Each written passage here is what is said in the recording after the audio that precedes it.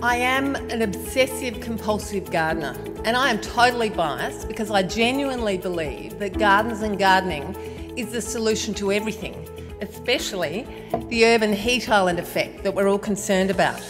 As urban infill results in smaller blocks and houses with a bigger footprint, we're left with smaller outdoor spaces. Now, I don't care how big your space is, we can green it up and cool it down. Now, ideally, plants should be planted in the ground. But if you've got no ground, you can still grow plants in pots, raised beds, or wicking beds. And not only can these plants feed us, but they can cool us. Now, there are three factors shade, shelter, and reducing unnecessary areas of hot reflective surfaces. Shade from trees is obvious. I'm a big fan of deciduous trees in small spaces because they cool us down in summer and let the precious winter sun in.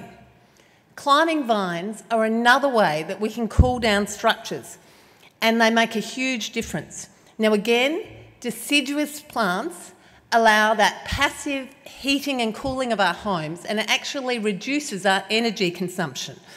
And the deciduous leaves that fall can be composted to make our gardens grow better and our veggies taste better. Climbing vines are great, but they take a couple of years to create that shade. There's an amazing group of quick growing edible plants that will grow up, give you shade, and feed you in just a couple of months. This is my climbing New Guinea bean arch. It was planted from seed in November. This is it here.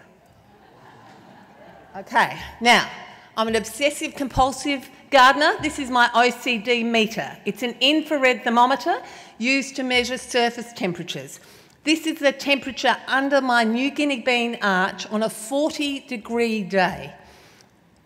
It's not only climbing New Guinea beans, there's all sorts of climbing veggies. We've got climbing tomatoes, or a South American cucumber like vegetable called caigua or achocha.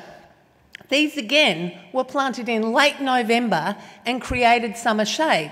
Now I'm in a frosty area. On the Adelaide Plains, you could actually plant in late September. Other vertical veggies can actually be used for windbreaks or shading things. So this is a climbing tromboncino. That one there. It's a climbing zucchini and it's shading the western wall of my shed. Now on a 40 degree day when the temperature in the sun was 45 degrees, this was 14 degrees. Now obviously we need good structures to be able to grow climbing veggies up, but it doesn't have to be complicated. This is a sheet of builder's mesh secured to some star droppers. And this is also edible. This is climbing Malabar or Ceylon spinach. Very ornamental and delicious.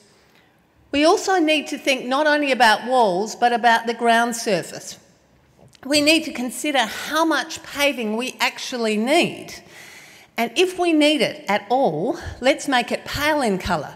These temperatures were in Kent Town on a 42 degree day we need to make sure that that paving is pervious to to let the water go back in the ground. But it's not only what's in our yard, it's what's around that. These temperatures were on a 29 degree day in Barangaroo on Sydney Harbour. Unfortunately, where do you think the people and the dogs were walking? On the bitumen. Now, concrete's cooler, but it's still too hot to have in large areas around our home. Lawn is a wonderful cool surface the average front lawn actually has the equivalent cooling value of two air conditioners. It absorbs stormwater, it helps to filter dust, pollution, um, it helps to absorb noise, and best of all, it actually adds value to your home. But please don't think that synthetic turf is a sustainable alternative to real turf. This is in Murray Bridge on a 40 degree day um, actually, sorry, 35 degree day. The temperature of the synthetic turf was almost double the um, day's temperature. And the other thing that concerns me is not only the carbon um, footprint that synthetic rollout plastic has, but we have a problem with landfill in 10 to 15 years when it needs to be pulled up and sent to the dump. So, a garden that's set up with shade, shelter, one where things screen out those hot north winds on a really hot day, something that where the hot north wind gets um, filtered through the screen, it gets cooled passing under a tree, and then it passes over a limited area of lawn and picks up moisture. It will cool your home and your outdoor environment, and we call that natural evaporative air conditioning. Thank you.